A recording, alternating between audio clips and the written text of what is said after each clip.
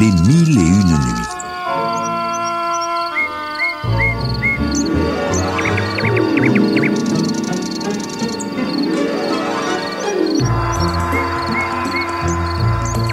Il y avait en Perse un roi qui régnait avec bonté et sagesse jusqu'au jour où, déçu par son épouse, il fut convaincu de la perfidie de toutes les femmes.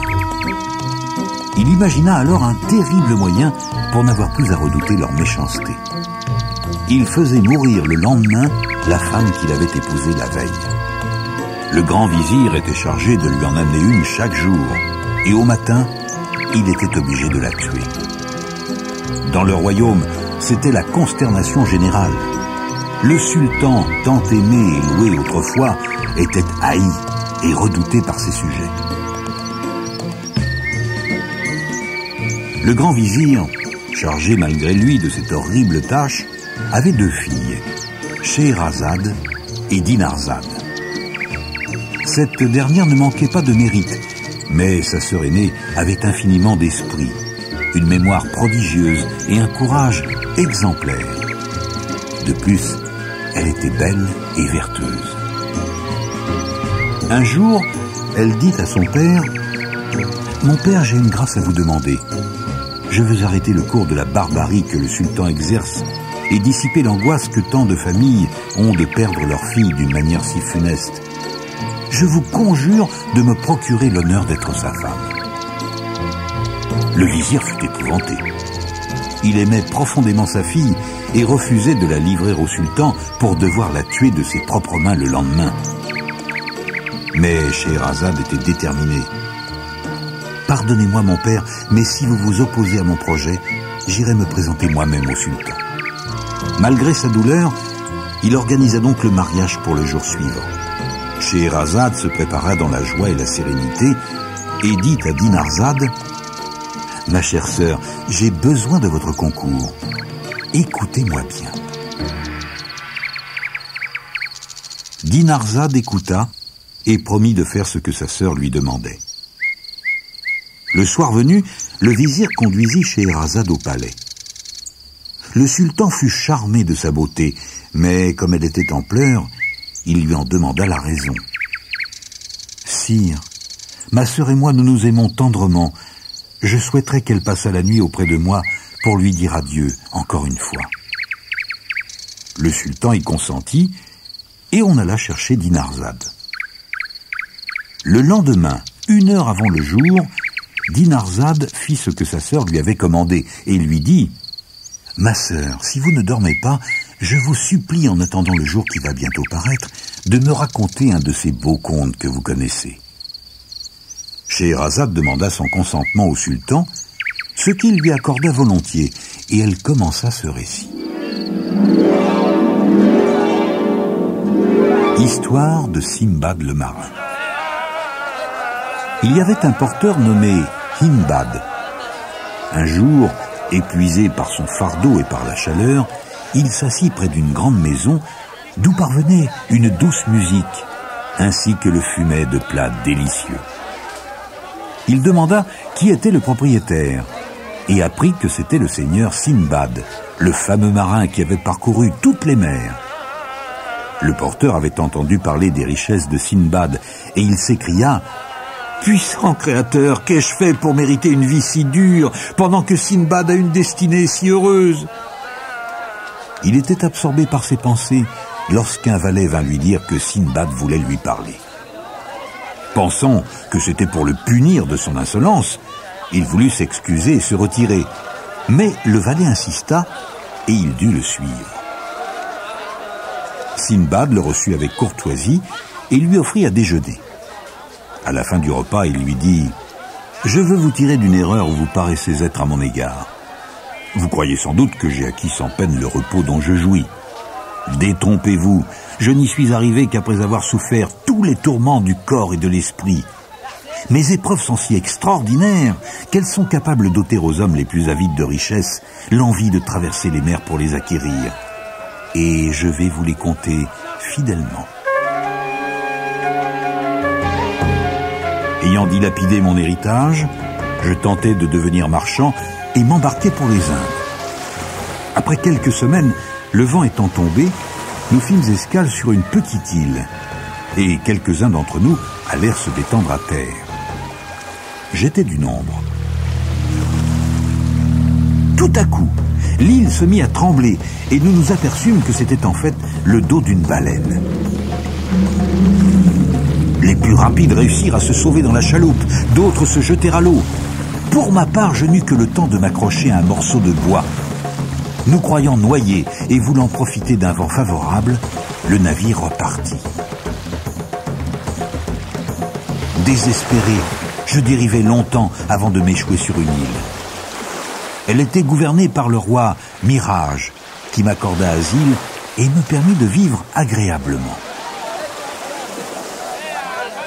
Jour que j'étais sur le port, un navire y vint décharger des marchandises, parmi lesquelles je reconnus mes ballots. Ayant fait la preuve de mon identité, je pus récupérer mes biens. J'offris ce qu'il y avait de plus précieux au roi Mirage, échangeai le reste contre d'autres marchandises et repartis avec le même vaisseau. Nous passâmes par plusieurs îles et j'arrivai enfin à Bagdad avec une belle fortune. J'achetai des esclaves, des terres et construisis une maison dans laquelle j'aurais pu vivre tranquillement le reste de mes jours. Simbad interrompit son récit, fit remettre une bourse de 100 sequins au porteur et lui dit Prenez, cela vous dédommagera pour le temps passé à m'écouter, et revenez demain entendre la suite de mes aventures. Le lendemain, Simbad continua son histoire. L'envie de voyager me reprit vite.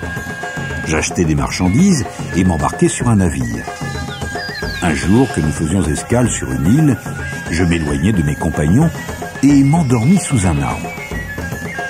Lorsque je m'éveillai, je m'aperçus que le navire était reparti sans moi.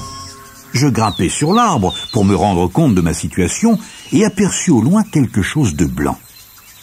En m'approchant, je remarquai que c'était une énorme boule. Tout à coup, le ciel s'obscurcit et un oiseau géant, appelé Roc, descendit vers moi. Je compris que la boule était un de ses œufs, et en effet, il se posa dessus pour le couver. À l'aide de mon turban, je m'attachai solidement à une des pattes de l'oiseau, en espérant que, reprenant son vol, il m'emporterait hors de cette île.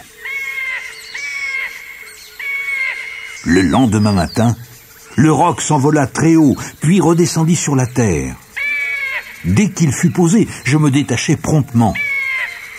Je me trouvais dans une vallée cernée de tous côtés par des montagnes aux flancs inaccessibles, et je remarquai avec étonnement que le sol était parsemé de diamants d'une grosseur extraordinaire.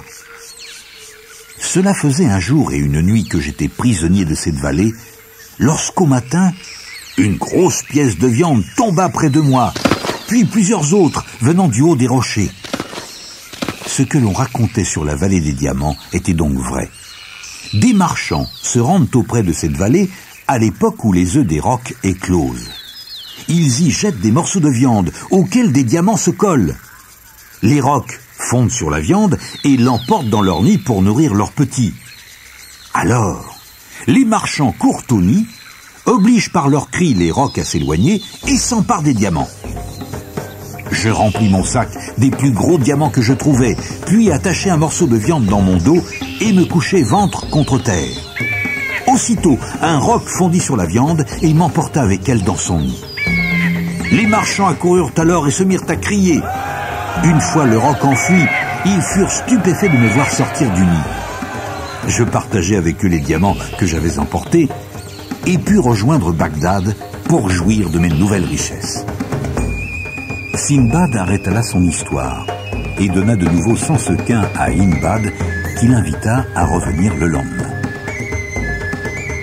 J'oubliais bien vite mes mésaventures et comme je m'ennuyais, je m'embarquai pour mon troisième voyage. Un jour, une violente tempête nous poussa aux abords d'une île habitée par de terribles sauvages. Ils étaient nains et couverts sur tout le corps d'un poil roux et long. Ils arrivèrent par milliers, prirent possession de notre navire et nous abandonnèrent sur l'île. Il y avait là un grand palais. Dans le vestibule, nous découvrîmes d'un côté un monceau d'ossements humains, et de l'autre, des broches à rôtir. Nous étions terrorisés lorsqu'une porte s'ouvrit et un géant noir apparut.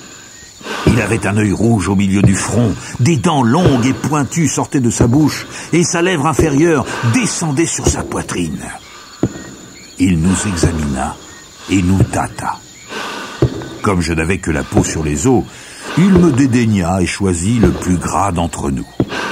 Il lui passa la broche au travers du corps, le fit rôtir et le mangea. Puis il s'endormit en ronflant bruyamment. Le lendemain, il passa la journée dehors. Puis au soir, il revint manger un autre compagnon. Tandis qu'il dormait, il me vint une idée. Au matin, dès qu'il fut sorti, nous nous mîmes à construire des radeaux. Il nous fallait courir le risque de nous lancer sur la mer. Au soir, il mangea un troisième compagnon. Mais dès que nous l'entendîmes ronfler, nous prîmes chacun une broche dont nous fîmes rougir la pointe dans le feu, et tous en même temps, nous les lui enfonçâmes dans l'œil. Il poussa un cri épouvantable et voulut nous attraper, mais nous eûmes le temps de fuir. Nous avions atteint la plage et nous attendions le lever du jour lorsqu'il arriva, suivi d'un grand nombre d'autres géants. Nous nous précipitâmes sur nos radeaux, mais les géants nous poursuivirent dans l'eau en nous lançant de grosses pierres. À l'exception de mon radeau, tous les autres furent brisés et les hommes noyés. Après avoir été longtemps ballottés par les flots, mes deux compagnons et moi échouèrent sur une île. Épuisés, nous nous étions endormis lorsque le sifflement d'un serpent nous réveilla. Le serpent engloutit un de mes camarades et nous prîmes la fuite. La nuit suivante, nous nous installâmes sur un arbre. Mais le serpent s'éleva contre le tronc et engloutit mon autre camarade. Au lever du soleil, désespéré, je courais à la mer pour m'y jeter, lorsque j'aperçus un navire. Je fis tous les signes possibles pour me faire remarquer, et j'eus le bonheur de voir arriver une chaloupe. Quelques mois plus tard, j'étais de retour à Bagdad. Les jours qui suivirent, Sinbad raconta ses autres voyages, tout aussi dramatiques, mais dont il revint encore avec de grandes richesses. Puis il dit à Hindbad Eh bien, mon ami, n'est-il pas juste qu'après tant de souffrances, je jouisse enfin d'une vie tranquille et agréable? Le porteur lui baisa la main. Je reconnais que mes peines ne sont pas comparables aux vôtres et que vous êtes digne des biens que vous possédez. Sinbad lui fit encore donner cent sequins et l'engagea à quitter sa profession de porteur et à continuer à venir manger chez lui. Cela faisait maintenant plusieurs nuits que Scheherazade aiguisait la curiosité du sultan, son époux, car elle avait toujours soin d'interrompre son récit au moment le plus intéressant, afin qu'il recule de jour en jour son exécution. Elle égrenait sans se lasser tous les contes qu'elle connaissait. Ainsi, un matin, elle commença l'histoire d'Aladin et de la lampe merveilleuse. Histoire d'Aladin et de la lampe merveilleuse. Il était une fois un jeune garçon qui se nommait Aladin. Son père était mort et sa mère travaillait dur pour assurer leur subsistance. Un jour, Aladin rencontra un magicien africain qui se fit passer pour son oncle. Cela faisait 40 ans, prétendit-il, qu'il était parti pour voyager de par le monde. Mais maintenant, il voulait aider son neveu et lui trouver un travail digne de lui. Aladdin en fut flatté. Le premier jour, le magicien offrit au jeune homme un magnifique habit. Le deuxième jour, il l'emmena hors de la ville pour, dit-il, lui montrer des jardins merveilleux le magicien s'arrêta entre deux collines. Je vais vous faire voir des choses extraordinaires et inconnues de tous les mortels. Il alluma un feu de broussailles, y jeta un parfum et prononça des paroles magiques, tandis qu'une épaisse fumée s'élevait dans le ciel. La terre trembla, s'ouvrit et laissa voir une pierre carrée avec un anneau au milieu. Effrayé, Aladin voulut s'enfuir, mais le magicien le retint fermement. Sous cette pierre, il y a un trésor qui vous est destiné, mais pour l'avoir, vous devez faire exactement ce que je dirai. Aladin fut tenté par le trésor. Bien, mon oncle, je suis prêt à obéir. Il dut d'abord dégager la lourde pierre. Puis le magicien lui dit Mon fils, descendez dans ce caveau. Vous y trouverez trois grandes salles. Passez les deux premières sans vous arrêter. Au bout de la troisième, une porte vous donnera accès à un grand jardin planté de beaux arbres chargés de fruits. Traversez ce jardin qui vous mènera à une terrasse. Là, vous verrez une niche avec une lampe allumée. Prenez la lampe, éteignez-la et apportez-la moi. Le magicien mit un anneau au doigt d'Aladin. Ceci vous protégera. Allez maintenant, et nous serons riches pour toute notre vie. Aladin sauta dans le caveau, passa les trois salles, traversa le jardin et prit la lampe. En revenant, il admira les fruits magnifiques qui pendaient aux arbres et ne put s'empêcher de s'en remplir les poches. De retour dans le caveau, il appela son oncle. Je, vous prie de me tendre la main pour m'aider à remonter. Le magicien répondit. Donnez-moi la lampe auparavant. Mais la lampe était fourrée dans ses poches parmi les fruits. Je vous la donnerai quand je serai monté. Le magicien insista, et Aladin, qui ne voulait pas perdre ses fruits, s'obstina. Alors, le magicien entra dans une colère épouvantable, jeta son parfum sur le feu, prononça deux paroles magiques, et la pierre retomba sur le caveau. Terrifié, Aladin se mit à crier, mais personne ne lui répondit. Il passa ainsi deux jours, s'attendant à mourir. Le troisième jour, il se mit à prier. Dans le geste qu'il fit pour joindre ses mains, il frotta l'anneau que le magicien lui avait mis au doigt. Aussitôt, un génie énorme et au regard redoutable s'éleva devant lui et prononça ces paroles. Que veux-tu? Me voici prêt à t'obéir comme ton esclave et l'esclave de tous ceux qui ont l'anneau au doigt. En toute autre occasion, Aladin eût été saisi de frayeur. Mais dans le danger où il se trouvait, il répondit sans hésiter. Qui que tu sois, fais-moi sortir de ce lieu si tu en as le pouvoir. La terre s'ouvrit aussitôt et il put sortir du caveau. Sa mère, qui le croyait mort, pleura de bonheur à son retour. Il lui raconta son aventure et lui montra la lampe et les fruits qu'il avait ramenés et dont il ne soupçonnait pas, malgré leur éclat magnifique, que c'étaient des pierres précieuses. Il dormit d'un profond sommeil cette nuit-là. Le lendemain, comme il n'avait plus rien à manger, il décida de vendre la lampe. Sa mère voulut la nettoyer d'abord. À peine eut-elle commencé à la frotter qu'un génie affreux et gigantesque s'éleva devant elle et prononça ces paroles. Que veux-tu? Me voici prêt à t'obéir comme ton esclave et l'esclave de tous ceux qui détiennent la lampe. Elle s'évanouit de frayeur. Mais le garçon saisit la lampe et répondit d'un ton ferme J'ai faim, apporte-moi à manger. Le génie disparut. Un instant après, il revint chargé de plats d'argent, plein de nourriture délicieuse. Aladin et sa mère s'en régalèrent. Ainsi, dans les années qui suivirent, ils continuèrent à mener une vie simple, mais n'eurent plus à souffrir de la faim. Lorsque leurs provisions étaient épuisées, Aladin vendait les plats d'argent un à un, et il ne se servait de la lampe que lorsqu'il n'avait plus de plats à vendre. Un jour, Aladin aperçut la fille du sultan et en tomba profondément amoureux. Il supplia sa mère d'aller la demander pour lui en mariage.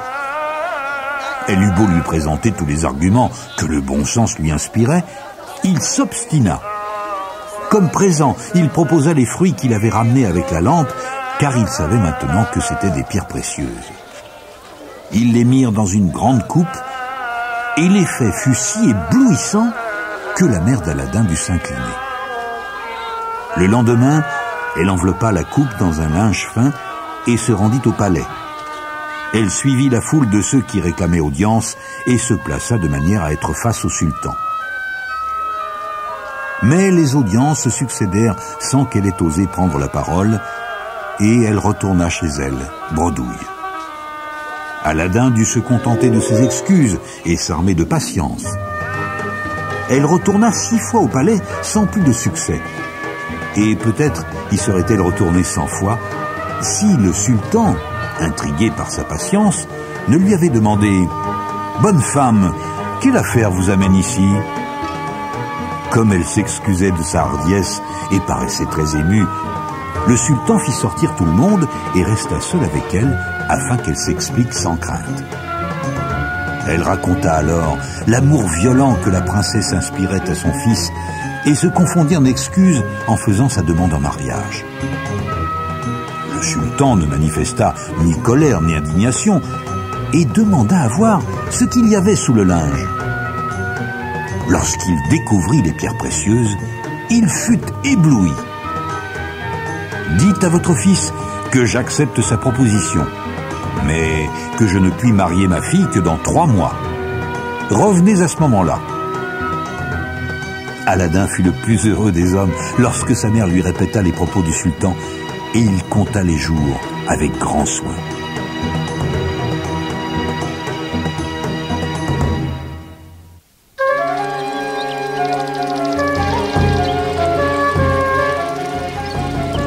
Aujourd'hui, il renvoya sa mère au palais.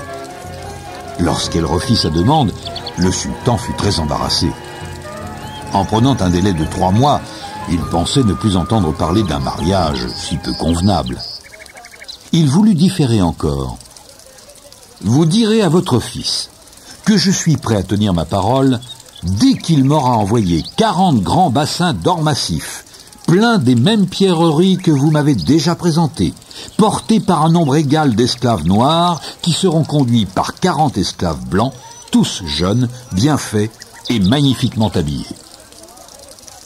Sans grand espoir, la mère d'Aladin rapporta fidèlement ses propos à son fils. Celui-ci ne se découragea pas, et dès qu'elle fut sortie, il frotta sa lampe. Le génie apparut aussitôt et se mit à son service. Aladdin lui fit part de la demande du sultan, et le génie disparut. Lorsque sa mère revint du marché, Aladdin l'attendait en compagnie de 80 esclaves portant des bassins d'or massif. Ma mère, vous pouvez retourner au palais pour y conduire la dot de la princesse. Le cortège d'esclaves fit sensation dans les rues de la ville. Tout le monde sortait pour admirer et acclamer leur beauté et la richesse de leur tenue. Ils arrivèrent en grande pompe au palais et le sultan fut conquis. Bonne femme, allez dire à votre fils que je l'attends pour lui donner la main de ma fille. Grâce au génie de la lampe merveilleuse, Aladdin put se rendre triomphalement au palais. Vêtu magnifiquement, monté sur un cheval qui dépassait en splendeur tous les chevaux de l'écurie du sultan, et escorté de quarante esclaves, ainsi que de six femmes pour les servir, sa mère et lui, il traversa la ville avec beaucoup de grâce.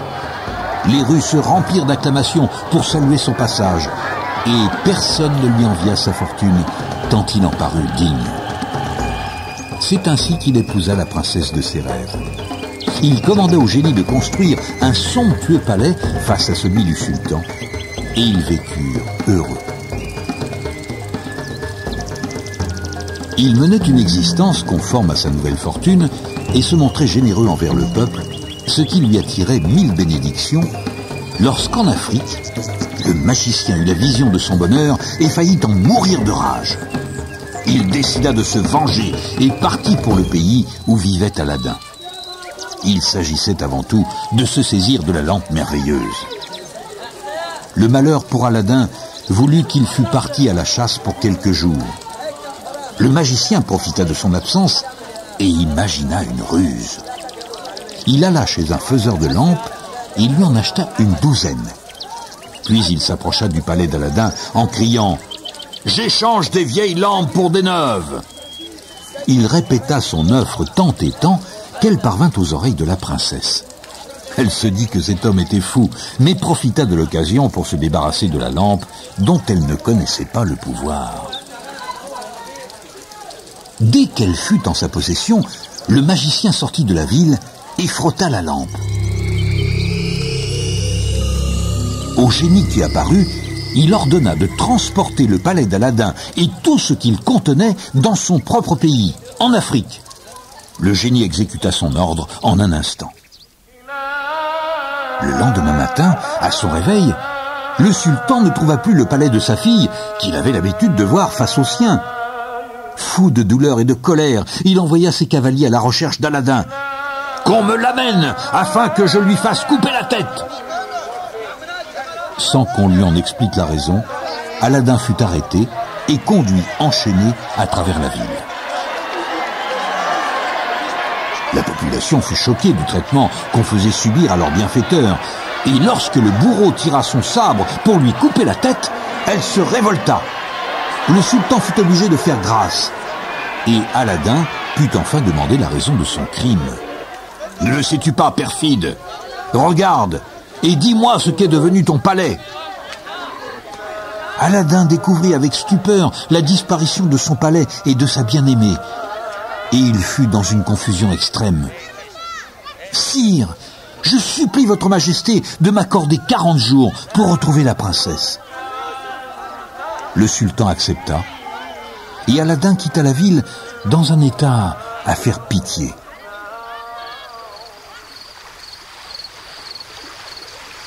À la nuit tombée, il arriva au bord d'une rivière et se désespéra. Jamais je ne retrouverai ma belle princesse et mon palais. Je n'ai pas d'autre issue que la mort.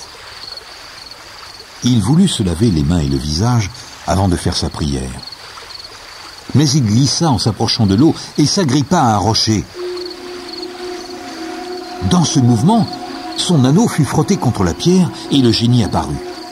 Que veux-tu? Me voici prêt à t'obéir comme l'esclave de tous ceux qui ont l'anneau au doigt. Aladdin répondit Génie, transporte-moi là où est mon palais et pose-moi sous les fenêtres de ma princesse.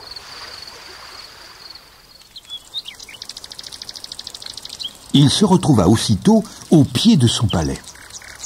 Une servante l'aperçut et avertit la princesse. Aussitôt, on le fit entrer par une porte secrète. Après des effusions mêlées de larmes, la princesse raconta son malheur. Le traître qui la tenait en son pouvoir la voulait pour femme. Aladdin comprit que cet homme qui détenait la lampe n'était autre que le magicien africain. Il imagina un stratagème. Il se déguisa en paysan et alla chez un droguiste pour acheter une certaine poudre. Puis il dit à son épouse Malgré l'aversion que vous avez pour votre ravisseur, je vous demande de vous parer de vos plus beaux habits et lui faire bon accueil lorsqu'il se présentera à vous. Acceptez de dîner avec lui, et au moment propice, versez cette poudre dans son gobelet. Dès qu'il boira, il perdra connaissance.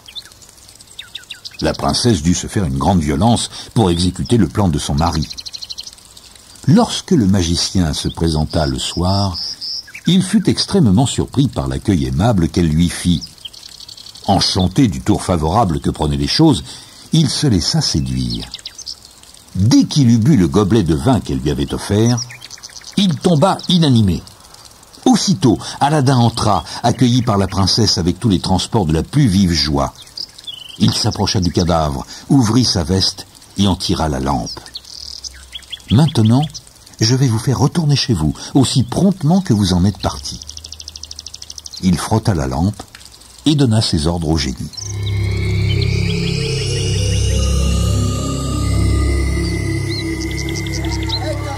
Depuis l'enlèvement de la princesse, le sultan était inconsolable et ne dormait presque plus.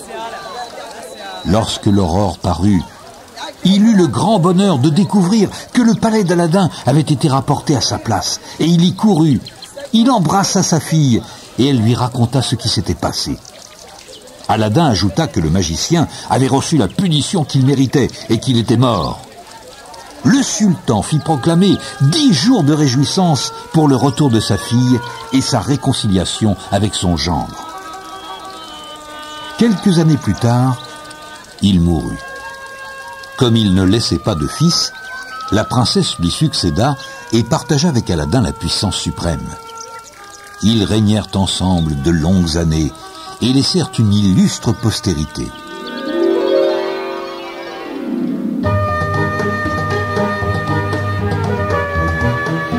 Scheherazade avait à peine terminé ce conte que son époux, le sultan, en réclama un autre, repoussant ainsi d'un jour encore son exécution.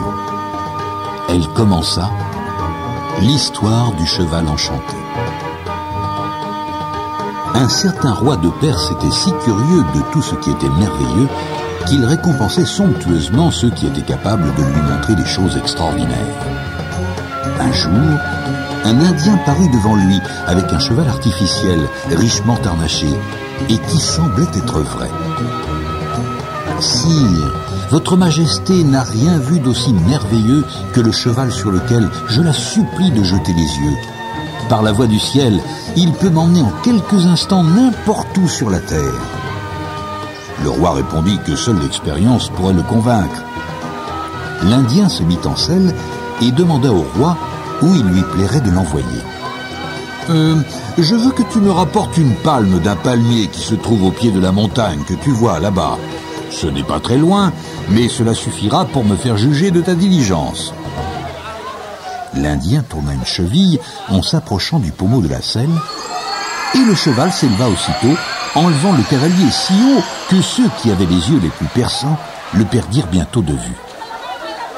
À peine quinze minutes plus tard, il était de retour, une palme à la main, sous les acclamations de la foule.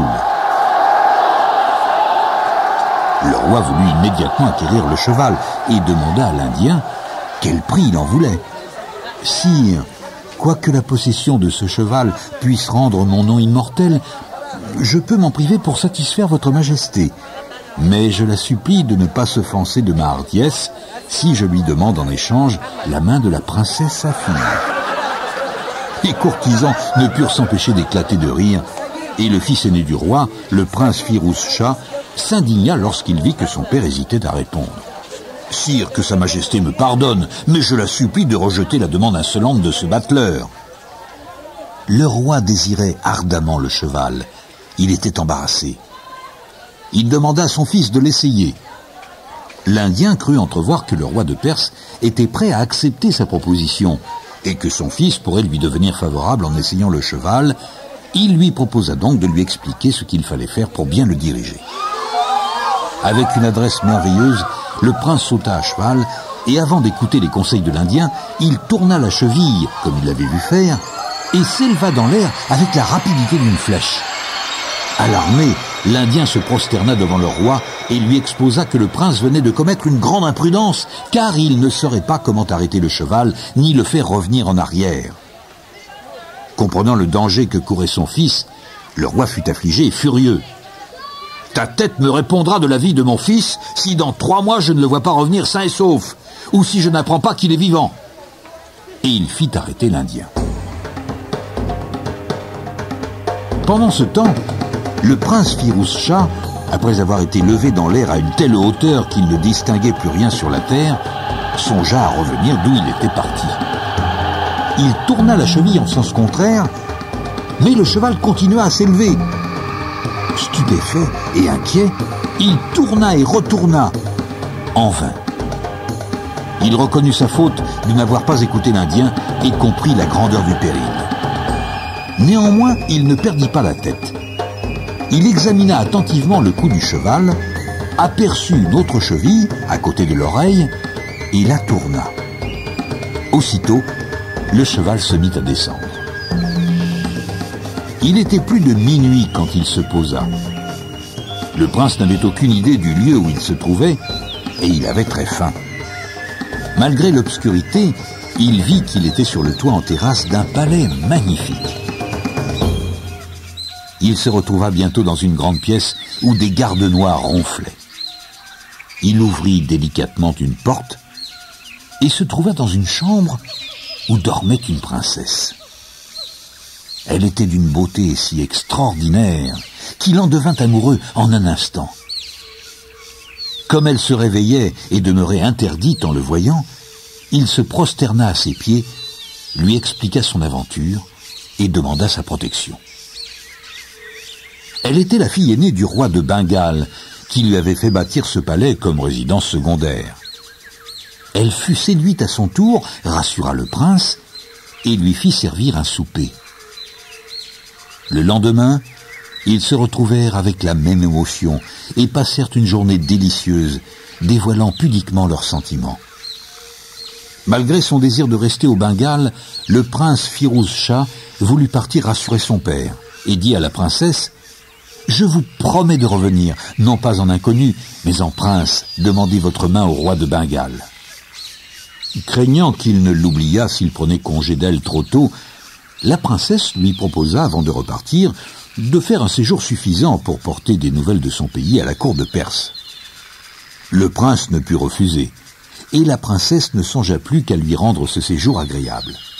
Ce ne furent que fêtes, bals et festins, promenades et chasses. Pendant deux mois, le prince Firouz Shah s'abandonna aux volontés de la princesse de Bengale. Mais ce terme écoulé, il lui rappela son devoir d'aller rassurer son père et lui proposa de l'accompagner, ce qu'elle accepta avec joie. Le lendemain matin, ils se rendirent sur la terrasse du palais. Le prince tourna sa monture du côté de la Perse, et dès qu'ils furent en selle, il manœuvra le cheval qui s'éleva dans les airs. Quelques heures plus tard, ils découvrirent la capitale de la Perse.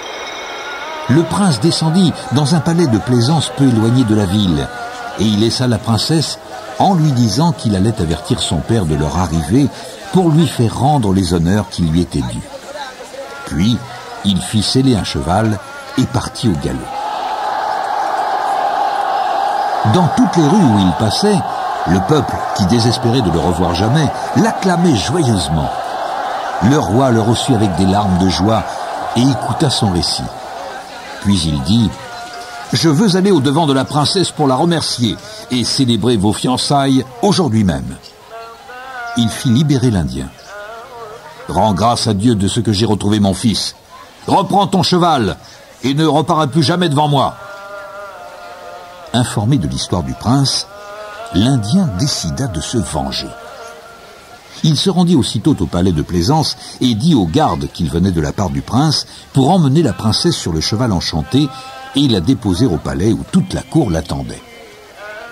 La princesse accepta de le suivre. L'Indien la fit monter en croupe, tourna la cheville et le cheval s'envola. Le prince, qui galopait au devant du cortège de son père, vit l'Indien voler au-dessus de lui et lui enlever sa bien-aimée. Il fut désespéré. Mais son amour et son courage lui interdisaient de renoncer à la sauver. Il se déguisa du costume d'un religieux et quitta la ville, résolu à n'y revenir que lorsqu'il l'aurait retrouvée. L'Indien était arrivé dans la capitale du royaume de Cachemire. Comme il avait faim, il s'arrêta dans un bois où il laissa la princesse le temps de se procurer des provisions. Lorsqu'il revint, une troupe de cavaliers apparut soudainement. C'était le sultan du royaume de Cachemire qui revenait de la chasse avec sa suite.